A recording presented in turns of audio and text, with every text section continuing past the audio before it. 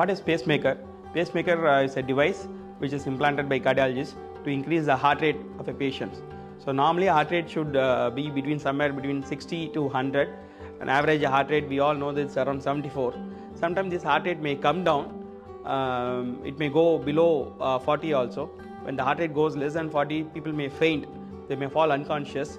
So then uh, heart pumping function, everything can get uh, disturbed. So in order to uh, increase the heart rate, we implant, we cardiologists implant a device called pacemaker, and uh, this uh, device uh, will increase the heart rate.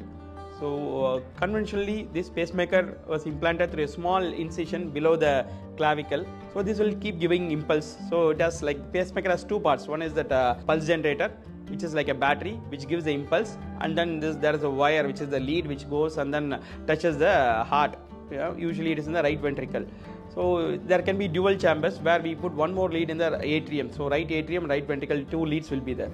But uh, nowadays there is some advancement in this procedure which is called leadless permanent pacemaker implantation where uh, this uh, entire pacemaker with the which is the pulse generator and wire everything has been uh, compressed to a small capsule like thing and then uh, which uh, lasts only the weight of this permanent pace, leadless pacemaker is only 2 grams and this can be implanted just like undergoing an angiography or angioplasty. So we just do a needle puncture in the groin blood vessel and then take it through a catheter and then implant it within the heart so in the right ventricle and then we come out. This procedure lasts only for half an hour duration. So there is no need of any scalpel or uh, incision for this procedure.